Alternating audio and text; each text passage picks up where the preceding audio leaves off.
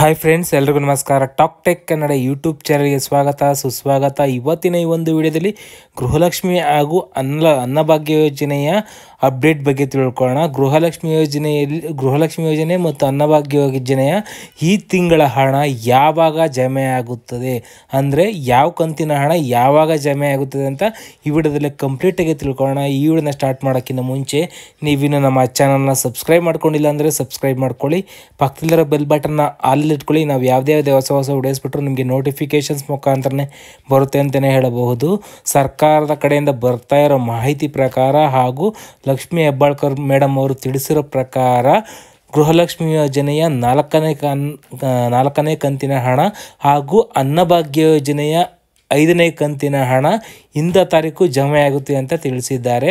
ಅದು ಯಾವ ತಾರೀಕು ಅಂತ ಅಂತಂದರೆ ಗೃಹಲಕ್ಷ್ಮಿ ಯೋಜನೆಯಲ್ಲಿ ಇನ್ನು ನಾಲ್ಕನೇ ಕಂತಿನ ಹಣ, ಎರ ಅನ್ನಭಾಗ್ಯ ಯೋಜನೆ ಐದನೇ ಕಂತಿನ ಹಣ, ಡಿಸೆಂಬರ್ ಹದಿನೈದರಿಂದ ಇಪ್ಪತ್ತರೊಳಗಡೆ ಜಮೆ ಮಾಡ್ತೀವಿ ಅಂತ ಬರ್ತಾ ಇರೋ ಮಾಹಿತಿ ಆಗಿರ್ತದೆ. ಹಾಗೂ ಇದು ಇದು ಯಾರ್ಯಾರು ಬರುತ್ತೆ ಅಂತ ಅಂತಂದರೆ ಗೃಹಲಕ್ಷ್ಮಿ ಯೋಜನೆಯಲ್ಲಿ ಒಂದನೇ ಕಂತಿನ ಹಣ, ಎರಡನೇ ಕಂತಿನ ಹಣ ಅಥವಾ ಮೂರನೇ ಕಂತಿನ ಹಣ ಪಡೆದವರಿಗೆ ಡಿಸೆಂಬರ್ ಹದಿನೈದರಿಂದ ಇಪ್ಪತ್ತರೊಳಗಡೆ ಬರುತ್ತೆ.